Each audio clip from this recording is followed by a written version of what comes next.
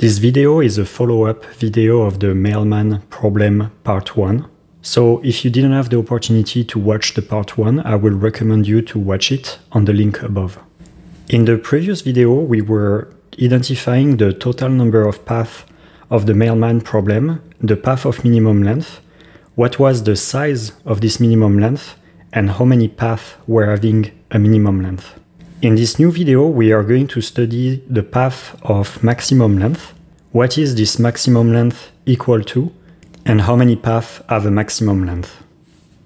Now, let's talk about the path of maximum length.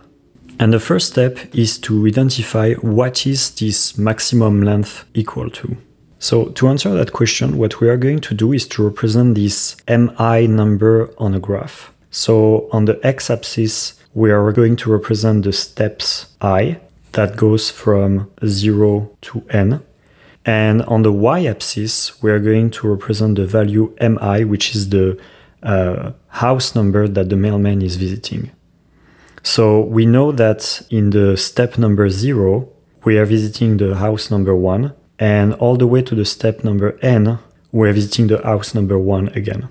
And in between the two steps, the mailman is going to visit all of the house between 2 and n. And what we're going to do here is to define the number L1 that is equal to 0, and we note H1 as the first local maximum after L1, and L2 the first local minimum after H1, etc., up to HK the last local maximum before the last step, and the step n being equal to the step lk plus 1. And the reason why we are doing that is because we are identifying portion of the path where mi is increasing between li and hi, and mi will be decreasing between hi and li plus 1. And thanks to that, we can rewrite the length of a path the following way. So Lm is equal to the sum from i equal 1 to n of mi minus mi minus 1, which is equal to mh1 minus ml1 plus mh1 minus ml2 plus mh2 minus ml2 plus etc. plus mhk minus mlk plus mhk minus mlk plus 1. And the reason why we can write this is because we know that the mailman is going to go from ml1 to mh1 so it doesn't matter what are the intermediary paths in between. The total distance between mh1 and ml1 is equal to mh1 minus ml1. And then when the mailman is decreasing in the rank of the house to go to the house ml2, we know that the distance is mh1 to uh, minus ml2, etc., etc. Now we note as well that ml1, which is basically m0, is equal to 1, and mlk plus 1, which is equal to mn, is also equal to 1. So we basically have ml1, which is equal to mlk plus 1. And now what we're going to notice is that each element mhi and mli appears in this sum exactly two times. So you can see mh1 here, mh1 there, ml1 here, mlk plus 1, which is the same there. Then we have ml2 here, ml2 there, etc., etc. So you can perfectly write this sum as being equal to 2 multiplied by mh1 plus mh2 plus etc. plus m hk minus 2 multiplied by m L1, which is equal to 1, plus m L2 plus etc. up to m Lk. And we can also write this sum as 2 multiplied by m h1 minus m l1 plus m h2 minus m l2 plus etc plus m hk minus m lk. Now let's think about the biggest distance that the mailman can walk between ML1 and MH1. So the biggest distance is if ML1 that we know which is equal to 1 is if he goes all the way to the house uh, number n. So this part is lower equal to n minus 1. And once this distance has been achieved, which means that the mailman started at the house number one and went all the way to the house number n, this house have already been visited. So the biggest distance that the mailman can walk after having walked the distance n minus one is basically to go between the house number two to the house number n minus one. And this distance between the two is equal to n minus three etc., etc., up to n minus 2k plus 1. So in other words, this distance is lower or equal to 2 multiplied by n minus 1 plus n minus 3 plus etc. plus n minus 2k plus 1. We can rewrite this as the sum from p equal 1 to k of n minus 2p plus 1, which is equal to 2 multiplied by k n plus 1 minus 2 sum from p equal 1 to k of p, which is equal to 2 k n plus 1 minus 2 k k plus 1 divided by 2. So we know that the sum from p equal 1 to k of p is equal to k, k plus 1 divided by 2. So this is equal to 2k n plus 1 minus k minus 1. So we can discard those elements. And this total distance is equal to 2k multiplied by n minus k.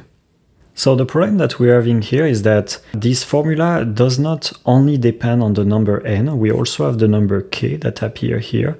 And this number k basically represents the number of local maxima in the uh, series mi. But we would really like to have a maximum value that only depends on the number n. So to identify that, what we can do is to identify the maximum value of that number, whatever the value of k is. And one way to identify that is to uh, analyze the function that turns x into x multiplied by n minus x and to identify its maximum. So we can identify the maximum of this function by taking its derivative. And we know that uh, we are reaching the local maximum when the derivative is equal to 0, which is equivalent to have n minus 2x equal to 0, which is equivalent to have x is equal to n divided by 2. So this is valid if x is a real number, but the problem is that k here has to be an integer. So if n is even, this works. We can take the maximum is reached in n divided by 2. But if n is odd, then the maximum will actually be reached in k is equal to the floor of n divided by 2. In other words, the length of any path is lower or equal to 2 floor of n divided by 2 multiplied by n minus n divided by 2 floor. And I'm not going to go into detail here because the calculations are a bit burdensome, but you can show that this is exactly equal to the floor of n squared divided by 2. So now what we're going to see is a specific path where we can reach this maximum. And one way to reach this maximum is to have h1 that is equal to 1, L2 that is equal to 2, H2 that is equal to 3, L3 that is equal to 4, etc. And the value that we are going to choose for each of these indices is to have m h1 that is equal to m, m L2 that is equal to 2, m h2 that is equal to n minus 1, m l3 that is equal to 3, etc., etc. And in the last step, we're having m hk that is equal to n minus k, m lk that is equal to k, and m lk plus 1 that is equal to 1. And as you remember, a house cannot be visited more than once, so necessarily we need to have m hk that is strictly greater than m lk. So we must have n minus k that is greater or equal to k plus 1. So in other words, n minus 2k minus 1 that is greater than 0, which is equivalent to say that k is that is lower than n minus 1 divided by 2. And we can show that if we are following that path, then the total length of that path will be exactly equal to the floor of n squared divided by 2. So visually what this path look like is a lot of back and forth between the houses at the extreme right and at the extreme left, where we try to reach the most extreme house and then take the most extreme right and left house that are left available. So it will look something like this. And then we will go back to the house number one here. So as we have just seen above, the maximum length of any path that the mailman can take is exactly equal to n squared divided by 2. And now what we're going to see is what is the number of paths that are maximal in length. Let's remember that the length of a path can be written as 2mh1 plus mh2 plus etc plus mhk minus 2ml1 plus ml2 plus etc plus mlk. And what we can note is that according to this sum, it does not really matter how we arrange the MH1, MH2, MHK. What matters is that here we have the most extreme right, and I put right between quote. So the houses that are the closest to the house number uh, n. So we have the most extreme right houses here. And on that side of this quantity, we have the house that are the closest to the house number one, so the most left house in this quantity. But really, what we have to understand is that it doesn't really matter how we arrange this uh, number mh1, mh2, mhk, and how we arrange this number either. So let's study an example with uh, a number n that will be odd and even to see exactly what's happening. So let's take n is equal to 6. And one possible path of maximum length will be 1, 6, 2, 5, 3, 4, and 1. And what we can see here is that we are increasing from 1 to 6, then decreasing, increasing, decreasing, increasing again, and finally decreasing. So the h value are the 6, 5, and 4, and the low value L are the 2 and 3. Let's calculate the length of this path. So from 1 to 6, we move 5. From 6 to 2, we have 4. 2 to 5, we have 3. 5 to 3, we have 2. 3 to 4, 1. And finally, 3. So by doing the sum of all of these intermediary distance, we have a length that is equal to 5 plus 4, 9, plus 3, 12, plus 2, 14, 1 and 4, 18. But we can perfectly take this alternative path, which is 1, 5, 3, 6, 2, 4, 1. And what you can see here is that we have rearranged the high value 6 and 6 there, 5 and 5 there. We didn't change the position of the high value 4. And we have also changed the position of the low value 2 and 3, where we put 2 here and 3 there. And if we recalculate the length of this path, we have 4 plus 2, so this is equal to 6, plus 3, which is equal to 9, plus 4, which is equal to 13, plus 2, which is equal to 15, plus 3, which is equal to 18. So we still have the same length of exactly 18. And note as well that we verify that 18 is equal to 6 square divided by 2, which is 36 divided by 2. So what you can see with this example of n equal to 6 is that there is exactly three factorial ways to arrange the high value, and there is exactly two factorial way to arrange the L value. Now let's take the example of n as an odd number, so n is equal to 5, and we are going to take a maximal path which is 1, 5, 2, 4, 3, and 1. So the high value here are again 5, and then 4, and then the low value are 2 and 3. And I shouldn't exactly say that 3 is a low value because if you see uh, the difference between the case where n is even and n is odd is that here the high value are clear in the case n equal to 6 because we have mh that belongs to 6, 5, and 4. So we have exactly three value. And for the ml, we have the value 1, 2, and 3. And we have the exact same number of uh, high and low value, so 3 in each case. But in the case where n is odd, it's a bit more complicated than that because we have mh that belongs to 5, 4, and 3, and the low value that are 1, 2, and 3. And we cannot really have 3 that belongs to both the high and low values. So 3 is a bit of an outcast that shouldn't belong to any of the high or low value here.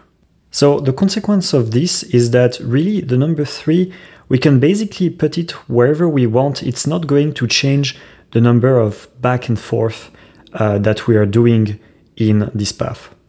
And we can see this by taking, for example, the path where we have 1, 5, 3, 2, 4, and 1. So what we have done here is that the number 3, we moved it basically like in the middle. And if you compare the number of increasing path and decreasing path, here you have one increasing path, two increasing path, and one decreasing path, and two decreasing path. And here you can see that you increase from 1 to 5. You decrease globally from 5, 3, 2, increase again, and decrease again. So we basically have the same number of increasing and decreasing path, and it doesn't really matter where we put this number 3. But apart from that, uh, the same rule that we have seen here apply here as well. So we have two factorial ways to arrange the h value, and two factorial ways to arrange the L value. Because as we have seen here, we really have only two value for the low value and two value for the high value here. And notice that this value 2 is basically equal to uh, the floor of n divided by 2, so the floor of 2.5. And we have the same thing here. 2 is equal to the floor of n divided by 2. And here we have 3 that is equal to uh, the floor of n divided by 2. Sorry, actually for L, since the number 1, we cannot really change uh, its position, we have actually one factorial ways to arrange the L. The L value that we can change is only this number 2 here, because the 1, as we said, like we cannot really touch it. So at the end, the number of options for h is equal to 2 factorial, with 2 that is equal to uh, the floor of n divided by 2, and 1 is equal to the floor of n divided by 2 minus 1. And here as well, we have 3 that is equal to the floor of n divided by 2, and 2 that is equal to the floor of n divided by 2 minus 1. So whether n is an odd or an even number, we have floor of n divided by 2 factorial ways to arrange the h value, the high value, and we have floor of n divided by 2 minus 1 factorial ways to arrange the real low value L.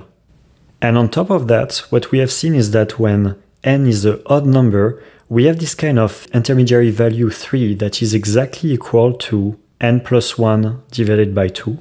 So when n is odd, this kind of middle number can be really put wherever we want in n minus 1 different position and that multiply the number of possibility to arrange this maximal path by n minus 1. So at the end, the number of maximal path is equal to n minus 1 to the power of n modulo 2 multiplied by the floor of n divided by 2 factorial multiplied by the floor of n divided by 2 minus 1 factorial. And the reason why we are writing that is because if n is an odd number, n mod 2 will be equal to 1. And if n is an even number, n mod 2 will be equal to 0. And that means that when n is even, this part will be equal to 1. And when n is an odd number, this will be equal to n minus 1. So this is the total number of maximal path.